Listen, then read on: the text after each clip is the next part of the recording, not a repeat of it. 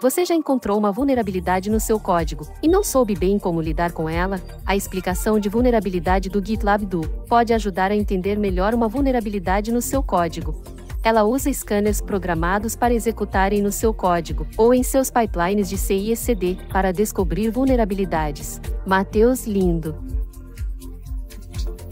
Selecione uma vulnerabilidade específica para ver sua localização no código e qual scanner a detectou. A partir daí, pode-se recorrer à explicação de vulnerabilidade do GitLab Do.